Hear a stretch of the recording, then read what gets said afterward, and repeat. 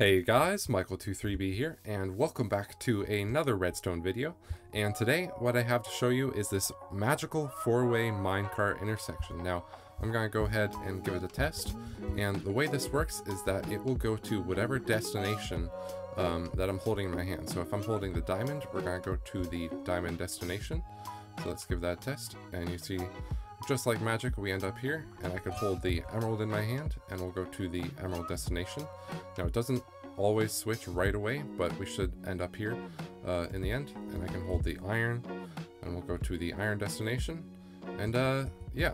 Now, as you might guess, this isn't actually magic, but it can be applied to several different types of redstone devices, such as this piston door, so it won't open if I'm holding the emerald or the iron.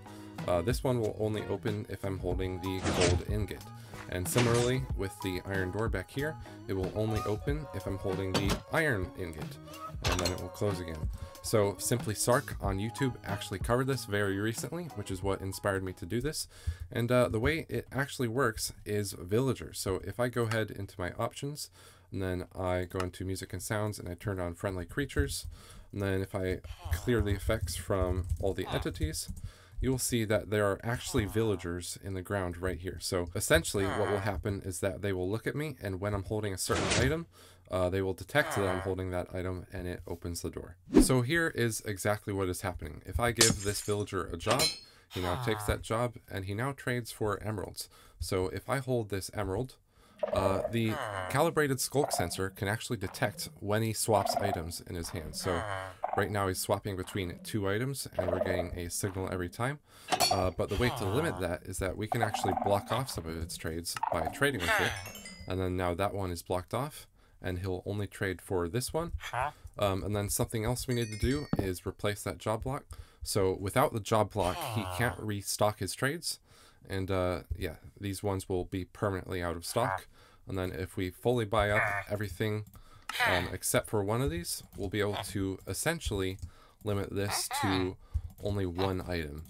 And so now by buying up everything except one of these items, I've now gotten him to detect a diamond. So if I'm holding diamond in my hand, then he'll want to trade that for an emerald. And uh, the sculk sensor will be able to detect that. So let's hold a diamond, and you see we get a redstone output. Now if I put away the diamond, we get another redstone output. So essentially the sculk sensor is detecting when he holds an item or he puts that item away. Now, as I said, there are a lot of redstone devices you could use this for, and uh, this was actually added in 1.20.2. So somewhere between 1.20.1 and 1.20.2, they changed something in the code to allow um, the villager held item thingy to trigger uh, the sculk sensor. And something else, this uh, comparator signal is actually on 4. So if we input a comparator signal 4 into this side of the calibrated sculk sensor, it's now um, only listening for uh, essentially that villager held item thing and some other things, but uh, this is the main usage for it. But one of the downsides of this is that this actually only works during the daytime. So if I were to set it to night, uh, now it's nighttime, and this villager won't actually hold an item. So um, it doesn't matter what dimension you're in, doesn't matter if you're in nether or end or overworld. Uh, if it is nighttime, um, then this villager, technically you can still trade with it. I could go ahead and buy emeralds here, um, but he's not going to want to hold up an item in his hand, despite, you know, ho however many times I hold up a diamond, he's not going to put that in his hand. But if I set it back to day, you'll see that, that he now holds the item. So something else I can also do is I can have a calibrated sculk sensor tuned to a power signal of 3, and that can detect when I right-click an item, specifically a food item. So if I right-click this potato, we get a signal. I right-click it again, we get another signal. So if we combine these two, um, we can do some really cool stuff. So what I made with this is basically a working piano using only the hotbar items. So if I go ahead and stand in the center here, you'll see that this light has turned on. So we have emerald, gold, uh, iron, flint, etc. And whichever one I switch to is the light that will turn on. And then if I go ahead and right click the potato, you'll see we get a note and it, the note will switch uh, based on what I'm holding.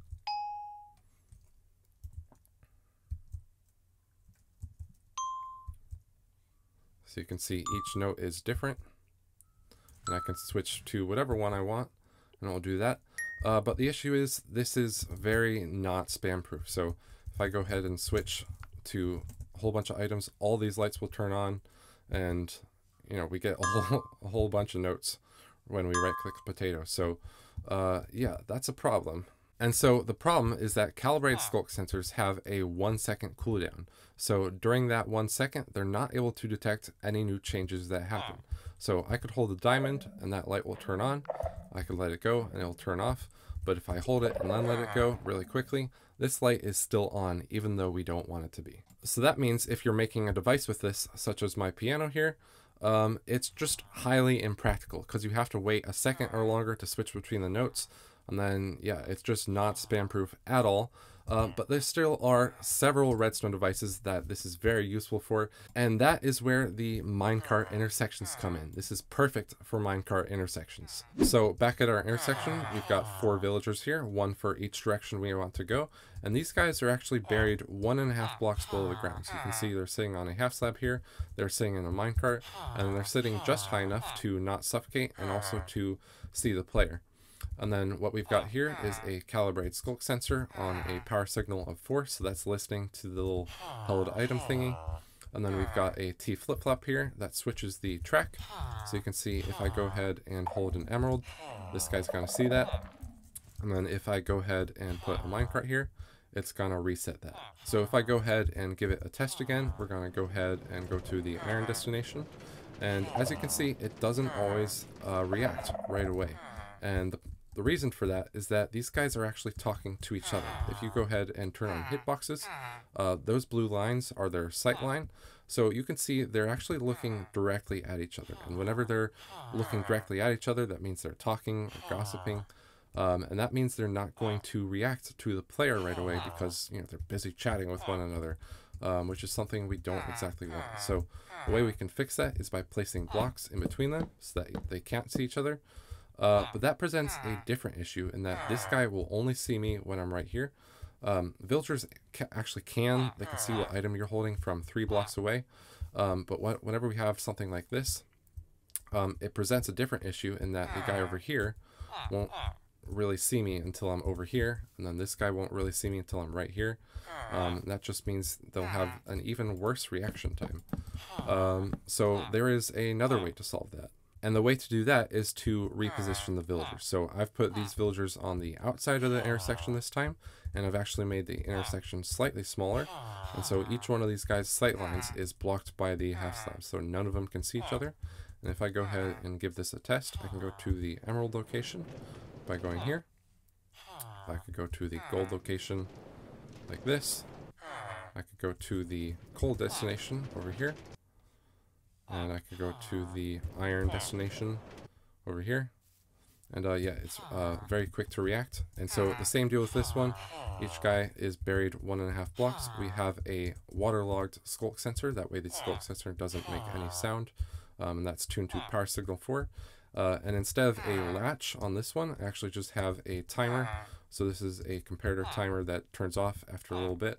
Um, so it switches the, the track so let's go ahead and hold a piece of coal. You'll see the track switches. And then just after a little while, it switches back. And that is how that one works. Now, before we get too ahead of ourselves, I'm going to show you an even simpler design. So instead of a four-way intersection, this is a three-way intersection. And this villager, he accepts emerald or rotten flesh. Um, and so if I go ahead and hold the emerald, you'll see the track switches for a brief moment. And the way it does that is that we have a sculk sensor. It's waterlogged, so we don't hear it. It's tuned to 4, and then it goes uh, up into the rail to power it. So if we go ahead uh, and give it a test, we're going to go to the emerald destination. I'm going to hold the emerald in my hand, and we'll switch to there. And if I continue holding the emerald in my hand, we'll go back to where we came from. And if I don't hold the emerald in my hand, go over here. Uh, I can hold the emerald again, and we'll go over here. So this makes it much better than your uh, original design. So if you weren't going to use uh, villagers in your design, you might have something like this. So if I go ahead and press this, you can see we come to a stop and now we have to decide uh, which direction we want to go. I want to go over to here. Um, and yeah, you can have a stop like this and it works, uh, but it's not as cool. And if you didn't want to stop, um, you're essentially relying on the player to hit a button or hit a chest um, right in time to switch. Um, but yeah, using the villagers makes this much better in that you don't have to, you know, aim at something to switch tracks really quickly. You can just hold something in your hand and it will switch automatically. Now, I just have two more designs to show you. This one is a two-lane, four-way intersection. So if I go ahead and pop in the minecart here, and let's go to the emerald destination, you'll see we go around. Um, this one still takes some time because they have to be able to see me as I'm coming. Um, so yeah, it's not perfect, um, but we'll just keep going around till we switch to uh, the proper track. And uh, yeah, so if we go down, we have the same exact deal. We have a waterlogged sculk sensor, and these these guys are buried one and a half blocks, and then that just flips a latch, and then we have these detector rails to flip that latch and reset it. And last but certainly not least, I have a multi-destination terminal here. So instead of the four-way intersection, uh, we now have several destinations we can go to from this one uh, basically train terminal. So if I get in the cart and hold the pumpkin, for example, I can go to the pumpkin destination, and you can see uh, we end up all the way at the pumpkin. I could go back and I could hold the emerald, for example, and I'll go to the emerald destination. Um, and this works just by all these villagers. So this one, for example, he trades for iron. This one trades for emeralds. This one trades for uh, diamond, and etc. It goes down the line for each different one. So whatever the villagers trade for is an item uh, that you can use as one of your items to, to hold uh, when you're wanting to go to a specific destination. And this one is stupidly simple. All we have is some trapdoors blocking the villagers' view from each other. Each one of those villagers is sitting in a minecart on a half slab.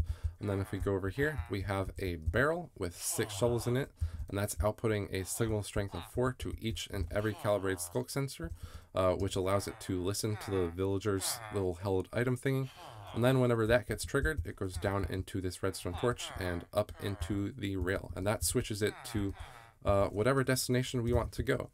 So yeah, overall, just very, very cool stuff. This is something new to 1.20.2 and above. So it's not entirely new, um, but yeah, still very cool. And I think it works great uh, for minecart intersections such as this. So obviously this can be used for a lot of different redstone devices, um, but I just thought I'd show you all these cool minecart applications. And yeah, I hope you enjoyed. Uh, I can't wait to see what you do with this. I hope you can build some really cool stuff with this. And uh, yeah, thank you so much for watching. Make sure to leave a like, comment, and subscribe. And I will see you guys all in 2024. Have a good one.